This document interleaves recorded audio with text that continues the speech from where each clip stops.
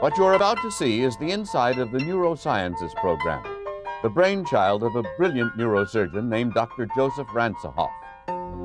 This program, founded in 1989, is a combined effort of the Hospital for Joint Diseases and New York University Medical Center, where Dr. Ransohoff has served as chairman of neurosurgery. Having been a neurosurgeon for over 40 years, I've always had an interest in the treatment of epilepsy, pain, and movement disorders. But the establishment of this program has been made possible by the recent explosion in neuroimaging, in biotechnology, and the application of the computer sciences to the nervous system.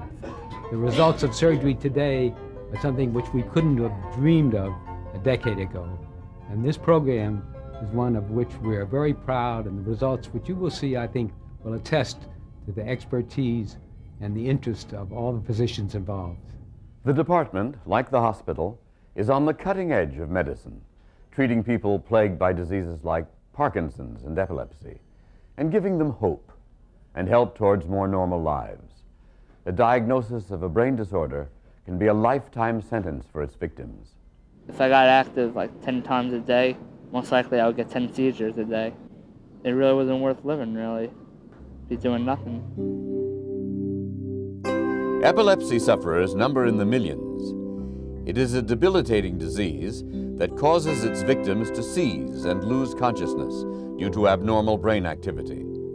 There is no cure for the illness, yet, only control of its devastating symptoms. Okay, now turn your palms up so they face towards the ceiling, and then turn your head from side to side.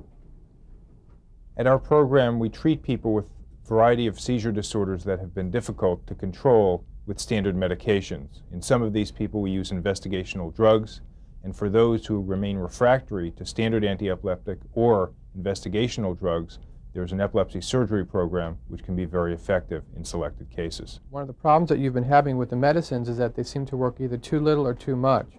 Parkinson's disease, another neurological disorder, afflicts three quarters of a million Americans. It begins with a simple tremor and gradually develops into total muscle rigidity. The hope is that a balance of medication will ease the burden for the patient. The doctors here begin by eliminating all the previous medication in the patient and starting from scratch. Uh, this patient here, Carol, has done pretty well for the last, uh, I'd say, for the first five years, and then over the last two or three years, she's had more uh, difficulty. She manifests what we call square wave dyskinesias, uh, where the medicines either don't work at all or they work suddenly with these uncontrolled involuntary movements. I'm still very optimistic. I don't let things like that bother me. I try to think, think everything will be fine. I'm not, um, I'm not um, saying that nothing bad could happen. There's always that possibility. The neurophysiology department houses an elaborate monitoring system for cases that confound the doctors.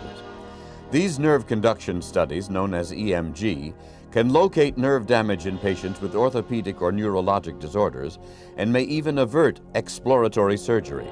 EMG is usually ordered when you have a problem with the peripheral nerves, when you have a weakness, or you have pain, or you have some kind of fatigue syndrome, uh, in which case there is a question if there is a nerve or muscle disorder. This innovative testing equipment, known as EEG, enables the doctors to monitor the actual brain waves of their patients and videotape the results. This patient is having an epileptic seizure. The monitor has helped us to pinpoint the exact area of the brain from which the seizure began. These brain monitoring studies are used around the clock for an average of seven days straight on some people with epilepsy to help us better understand their seizures and to help us demystify their illness. Susie, can you look at me? These striking results provide the doctors here at the Hospital for Joint Diseases more sophisticated information than ever about the causes and frequency of the symptoms of brain disease. When it comes to the next step, there's very little guesswork. Are you hopeful that this is a, a new beginning for you? Yes, yes, I am. Very hopeful. Carol will have her last test, a high-tech MRI before undergoing surgery, brain surgery. Then we're going to go take some pictures. In many ways, this is the end of the road, a road scarred by years of failed pharmaceutical intervention and medical technique. No one wants to undergo brain surgery, of course. It is the road less traveled. But through the genius and dedication of the doctors here, and the generosity of this hospital's supporters, the road is less treacherous now, and may even be promising. The people who wind up here have suffered symptoms or pain so severe that everyday living has become an agonizing defeat. Can you see okay now? Because we want you to be able to see. All right? Nothing's in your face? Okay, good. Carol was frozen, trapped inside her own body because of Parkinson's disease. The activities that most of us take for granted, like walking or feeding ourselves, she couldn't perform. The Hospital for Joint Diseases offers its patients a way out. Okay, watch and see if you have any lights. No lights. Okay, The patient is awake, incredibly. good. The surgeon needs her responses as he attempts to interrupt the circuit in her brain that is malfunctioning or preventing her from moving normally. There is little room for error. The risk could be blindness or paralysis. I feel better. Your toes feel better already? I feel better. I like it. The surgery went very well, and uh, her results certainly look very encouraging.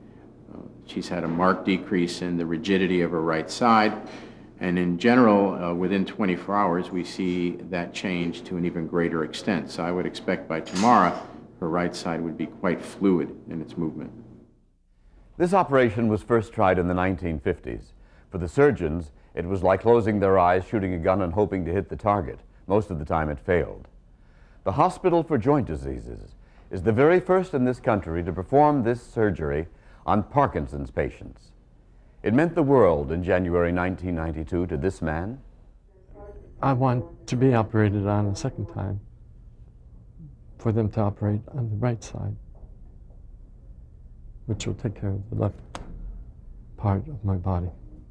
Since then, more than 20 patients have been operated on for Parkinson's, and in a careful system of tracking them, the hospital reports a promising rate of success. In surgery for epilepsy, the patient is also awake.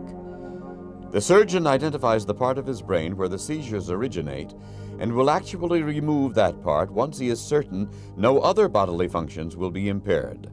I I wasn't scared at all. I would have done anything as long as I would have got a normal life again.